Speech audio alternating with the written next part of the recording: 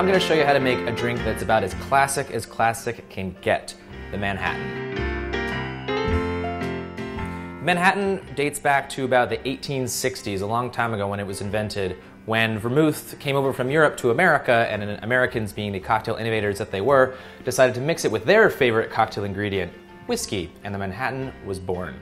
So we're going to start by using our base, whiskey, two and a half ounces of rye whiskey. I'm using rye whiskey as opposed to bourbon, which is what a lot of people use to make Manhattans. I'm using rye because it's historically accurate for one. Back in the 1860s, rye was a little more popular than the bourbon, and so that's how the Manhattan was originally made.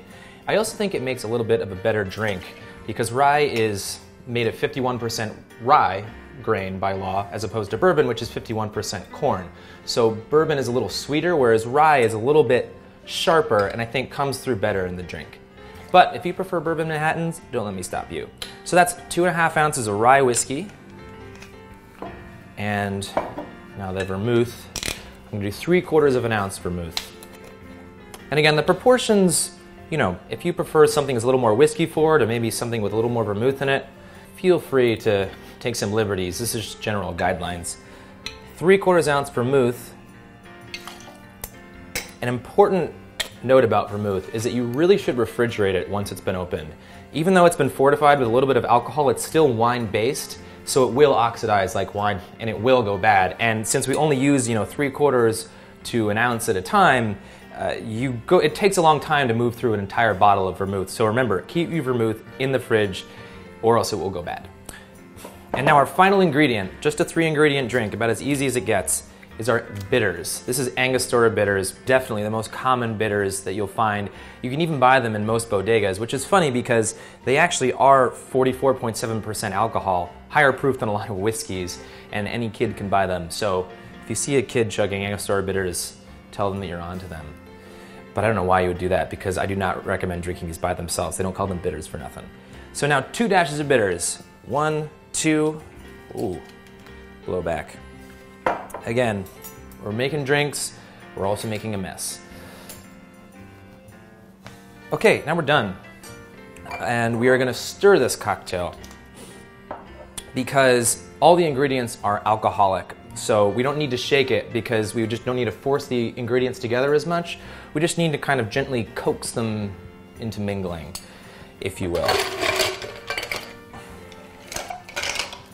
And you can really fill it up with a lot of ice. I like to have the ice sort of just above the level of the drink so that it really gets in there. Now, when you're stirring, you're doing two things. You are chilling and diluting at the same time.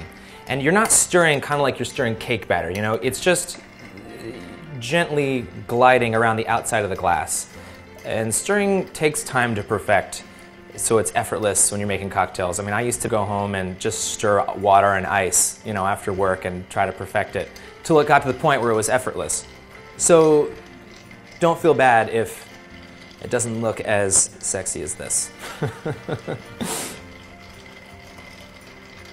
About 20, 25 seconds of stirring should do it. And now it's time to strain our drink. I put a glass in the freezer so it'll get nice and cold and keep this freezing drink freezing. All right, nice frosty glass.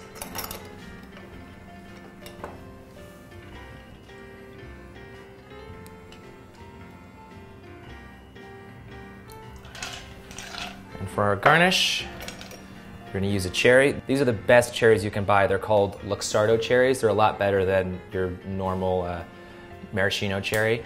They're expensive, but totally worth it. And with our garnish, we are done. And that is how you make a Manhattan.